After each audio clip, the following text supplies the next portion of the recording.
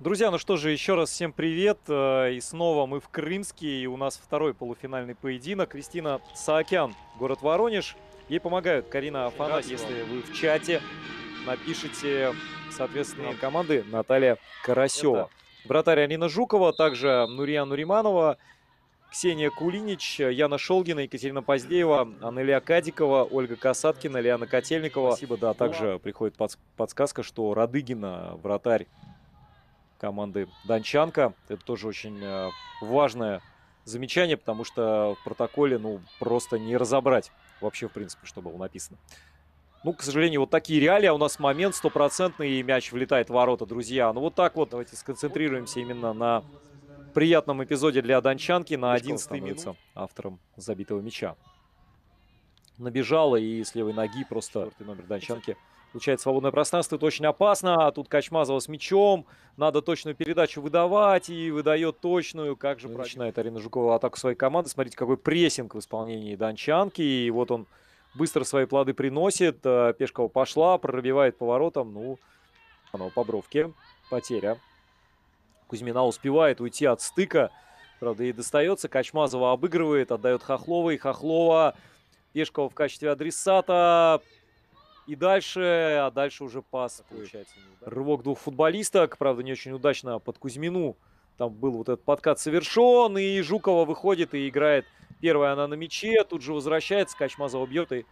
Ну и все, две компенсированные минуты истекли. У нас перерыв. Ведет Дончанка со счетом 1-0 благодаря голу Анны Пешковой. Давайте немножко отдохнем и совсем скоро вернемся ко второму тайму. Друзья, возвращаемся в Крымск. И у нас все готово к началу второго тайма производить. Но вот э, кто ушел, э, пока, наверное, вам не скажу. Вот, может быть, сейчас, если покажут, являлся, может быть, там буквально несколько раз попадали в заявку. Та же самая Жукова, Шолгина, Кулинич, Степанова. А у нас как раз-таки гол забивается, друзья, пока я изучал. Давайте смотреть, как этот гол пришел. Э, совместными усилиями сумели у только что вернувшей дончанки мяч этот отобрать, а тут Качмазовый угловой удар был. Сама, да, конечно, такой моторный футболист у дончанки. И дальше на Качмазову, та тоже готова протащить. Пешкова идет передача, и хорошо, может Хохлова выйти на ударную позицию. Нет, Жукова выходит и успевают тут защитницы звезды. И дальше, ух, неужели без положения вне игры, но успела, успела Радыгина, защищает вот зону. Разворачивает там Родионенко. Это пас, который пошел э, вот туда в зону на Качмазову и вышла Жукова. Все, это свисток э, об окончании этого поединка. Теперь... И пробивает выше цели. Вот так вот. Шолгина. Первый. Уверенно забивает. Левый от себя угол. Арина Жукова, кстати говоря, догадалась и ну, берет, наверное, тренер все-таки. Смотрим за ударом. Ой-ой-ой-ой-ой, Ксения пробила. Даже мне кажется... И попадает в штангу. Вот так вот мы с вами увидели, пока только Наталья Кузьминой.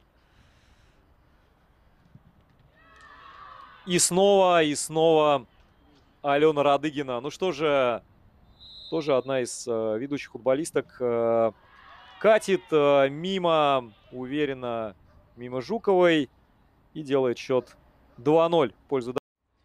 Если звезда не забивает сейчас гол, один сейв совершить и стать настоящим героем.